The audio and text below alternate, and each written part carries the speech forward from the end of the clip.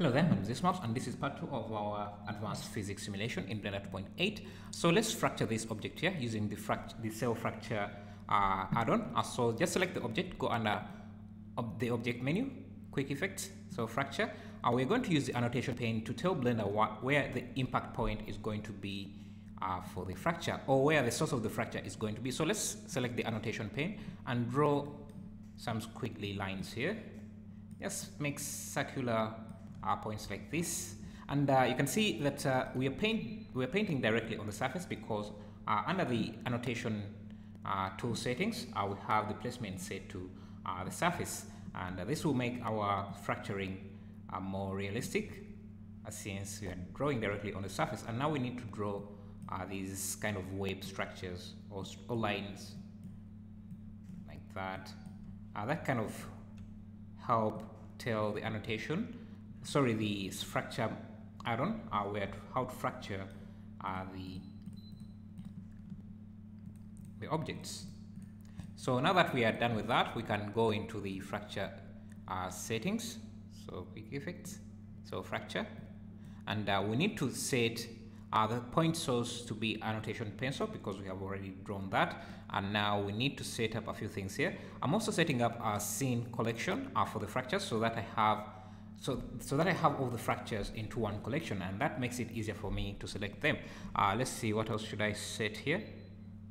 I think uh, for the most part that's it. Uh, that's all you need to set up. Uh, so I'll hit OK and that should start fracturing my object.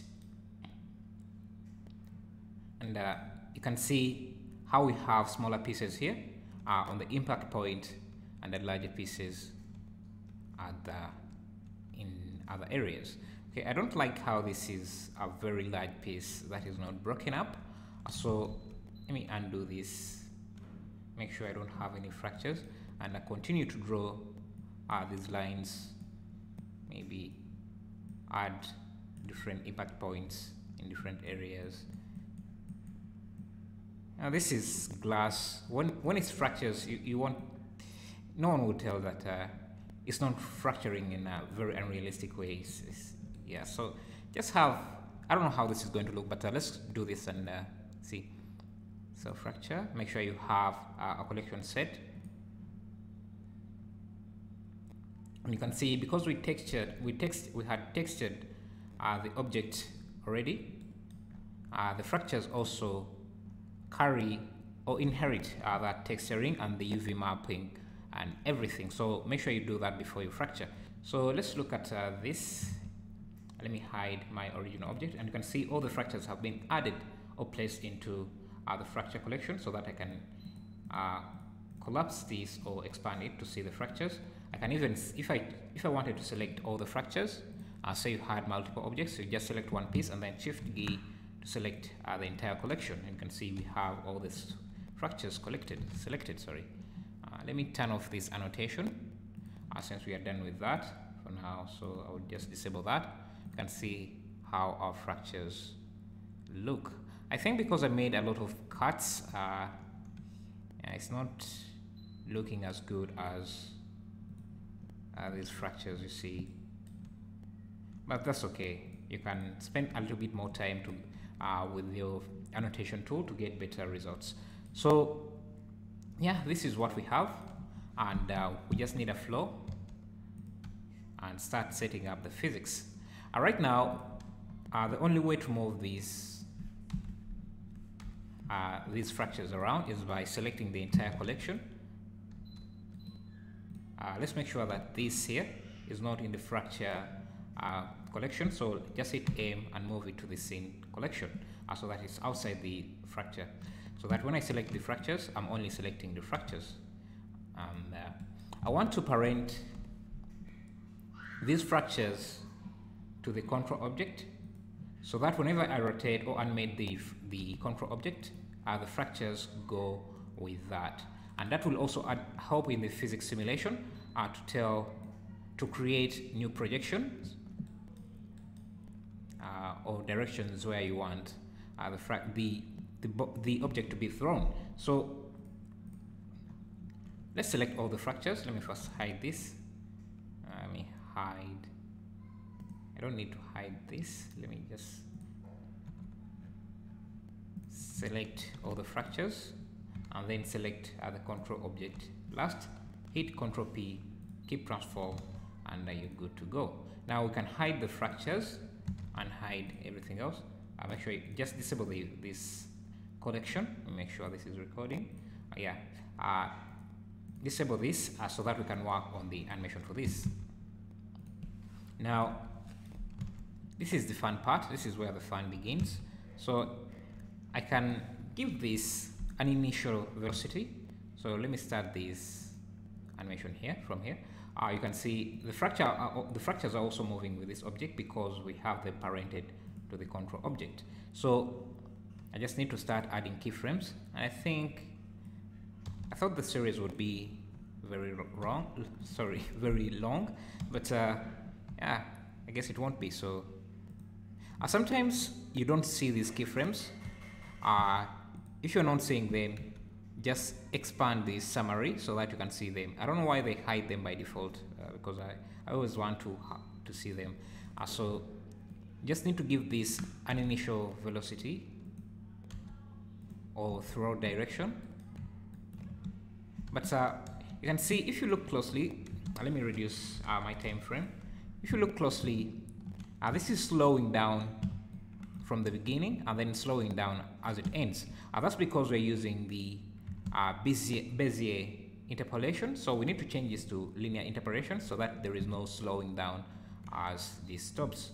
So just hit V and then change to vector uh, the white switch between the, the curves timeline and the timeline and this keyframe timeline I just use Control T sorry Control Tab uh, to toggle between uh, those different timelines. So uh, this is not slowing down at least as much. And uh, now uh, that is going to be uh, the initial velocity for our fractures. So if I now I can hide the control object and bring back the fractures. You can see they have that initial push uh, which is going to be which is going to draw uh, which is going to drive uh, the direction of our uh, fractures uh, when they um, when the physics starts kicking in. So let's uh, start working on the physics. So I'll select one fracture shift G select everything that is in the fracture collection and then go under object rigid body then add an active rigid body system at all the fractures you have. You can see if we go to the physics tab, you can see each of them has that physics that uh, rigid body system added. So if we play back now, they just fall down and they don't respect uh, the animation we created uh, from the parent. We can turn that on. And see this goes in a different direction and uh, the fractures go in a different direction. Uh, let's also let me turn off the keyframes Let's also give this a rigid body system. Uh, make sure it's passive so that it doesn't, it just interact uh, with uh, the object, but it doesn't move. With other rigid bodies, but it doesn't move. And see, this just falls down. It's a nice effect, but uh, very cheap and uh, not what we are going for. I want it to be thrown uh, with this bottle, and only and only if this impacts or hits any other object, then this fractures. So to do that, just select one. So to respect the animation you see from the parent, uh, we just need to turn on animated for the fractures. So if we turn on animated for the fractures, you can see this piece will go uh, with the parent. And uh, if you do the same for all the objects, all the fractures, uh, they should also respect uh, the animation from the parent. Uh, the problem is when we turn on animated, then the fracture will, will ignore all the physics simulation or all the rigid body simulations. It won't collide with other objects. It also won't fall down uh, to gravity. Uh, so to kind of mitigate that, uh, we just have to animate off and on uh, this animated uh, value. So at around here, right about here, when this is about to stop, uh, we can animate this animated and uh, just one frame after you can switch that off and uh, add a keyframe. So that means that uh, from 0 to something like 10 what is it 17 16 uh, it will respect the animation from the parent. And then after that uh, the animation will start uh, this fracture will start considering the physics simulation to drive its animation instead of the animation from the parent. As you can see now it gets thrown and it uses the initial push of initial animation as its initial velocity and see it just continues like that so we need to copy the settings uh, for this fracture uh, onto all the other fracture, fractured pieces we have. So to do that, uh, we can select uh, the fracture and then let's see, let's see first, let's hide, hide everything else. Select all the fractures, Shift G collection, fractures, and uh, make sure this is the active uh, object, and then Control L, select link animation data, and this should link all the animation data which includes uh, the animation of the animated property.